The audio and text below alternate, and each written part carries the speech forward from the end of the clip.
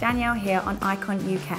Today, I've teamed up with L'Oreal Paris to share my perfect look for a night out. If you want to see how I achieve this look, make sure you keep watching and don't forget to subscribe for loads more makeup looks. I'm going to apply the Infallible Sculpt Foundation all over my face and also onto my neck. When applying foundation, I think it's best to start with a thin layer and then build up depending on the amount of coverage that you want. Next up, I'm going to fill in my brows using the L'Oreal Paris Brow Artist Shaper.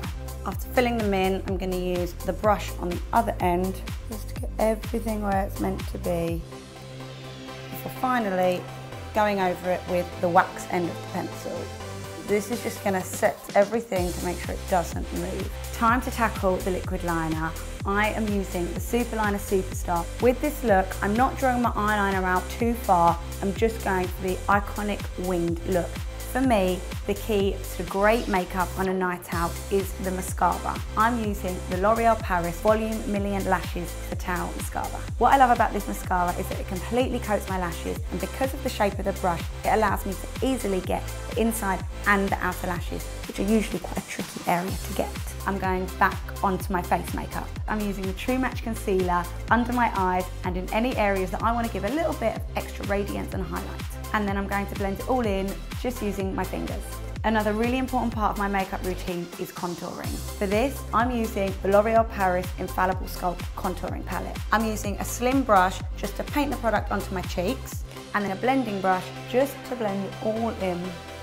Next up, I'm going to use the Infallible Blush Trio, and I'm going to actually mix all three colours onto one brush. What I love about this blush is that it's really highly pigmented and has a really nice shimmer to it. I'm finishing up my base with some powder and for this I'm going to use the L'Oreal Paris Nude Magique BB powder. This is going to ensure that all of the makeup that I've done stays in place and is set throughout the whole night. I'm going to end with a deep red lipstick. I'm going to start with L'Oreal Paris Color Riche Lip Liner Couture and then I'm going to add the L'Oreal Paris Color Riche in Blake's Pure Red.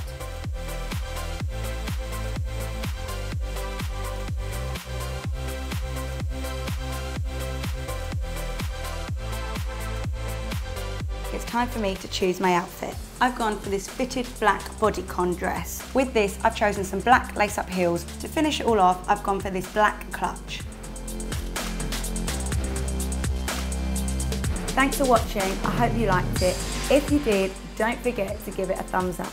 That's it from me, I'll see you next time. Bye!